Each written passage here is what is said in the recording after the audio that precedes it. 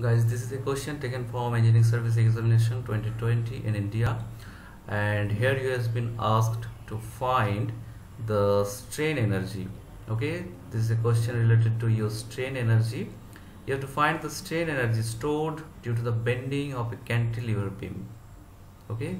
So and the load is due to a point load. So you are given two things. First one is a, a cantilever beam and the point load is being applied at free end. So point load is being applied here. This is P. And what is the length of the cantilever? The length is L. And other properties are also given. That is flexural rigidity is EI and the load is sorry it is not P this is W. Okay? So now the question is what is the total strain energy stored in this system okay. So you know due to bending moment m let's say this is element and you're applying bending moment here and it will bend like this. Let's say this is the radius of curvature r and this is theta. You know the relation in bending moment that is may I follow you Elizabeth running? And here all the items you know my bending moment moment of inertia stress distance of fiber from neutral axis modulus of elasticity and the radius of curvature. Okay? So if we simply pick up this two term we'll get relation m by i is equal to 1 by r and here e. So your radius of curvature can be related with moment and this flexural rigidity by this formula okay? And again let's say this is the length L this is theta and this is R. You know that here L is simply R theta clear? So what is the value of theta?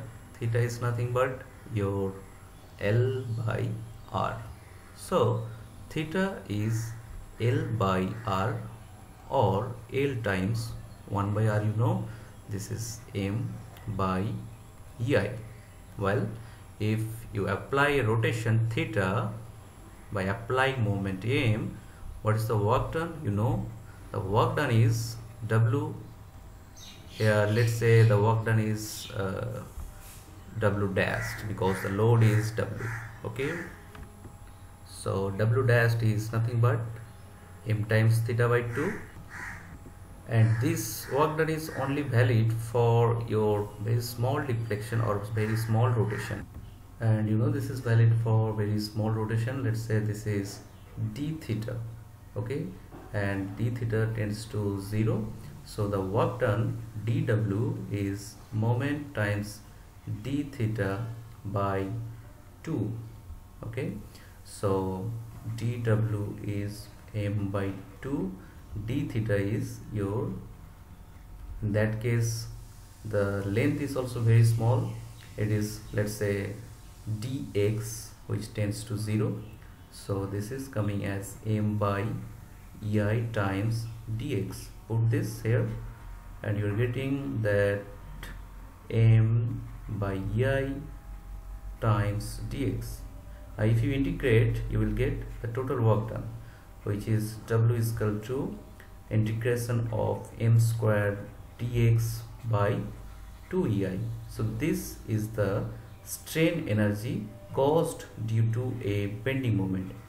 So the question here is it is cantilever beam the length is l and load is w. Simply put here take any section at a distance of x from free end. So here what is the moment? Mx is simply w times x. Okay so you have got the value of moment at this section. Now apply it here in this equation. Your work done is coming as integration. Integration should be done from end 0 to L.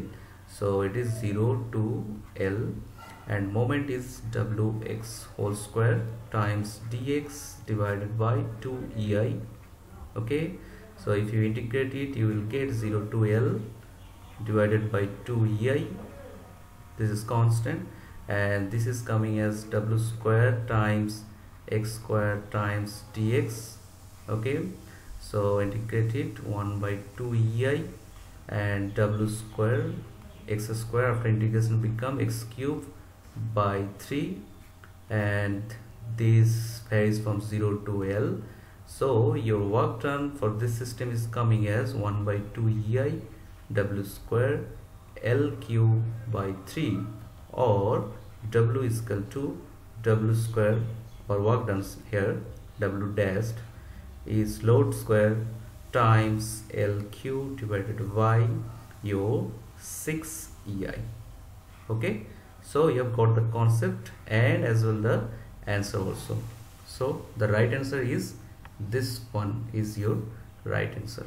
W square L cube by 6 EI